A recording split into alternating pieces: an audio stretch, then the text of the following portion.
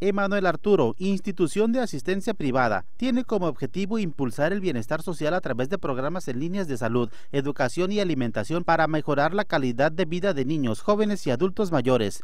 Se encuentra en el municipio de San Ignacio Río Muerto y su directora y fundadora Leticia Gutiérrez Valenzuela declaró que en tres meses más recibirán beneficios por redondeo OXO. Nosotros es la primera vez que la organización es beneficiada, no Ahorita no, no podemos decir la, la, cantidad porque vamos apenas a visitar las tiendas de autoservicio, pero para algunas organizaciones ha ascendido hasta 800, 700 o 500.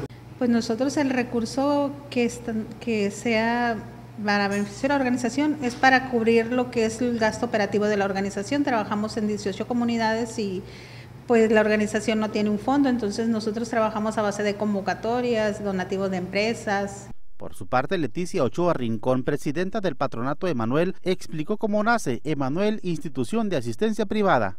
Hace que 15 años no había médicos en San Ignacio, este, especialistas, y pues se juntan un grupo de vecinos, entre ellos Alicia, que es fundadora, eh, y pues se ponen a trabajar el niño muere a los dos años, pero queda mm, la inquietud de, seguir apoyando.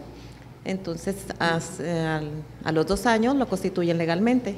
La institución tiene legalmente 13 años, 15 años de, de existencia y pues así es como nace Manuel Arturo, se le queda el nombre del niño.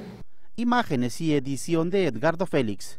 Informó para las noticias Tomás Valenzuela.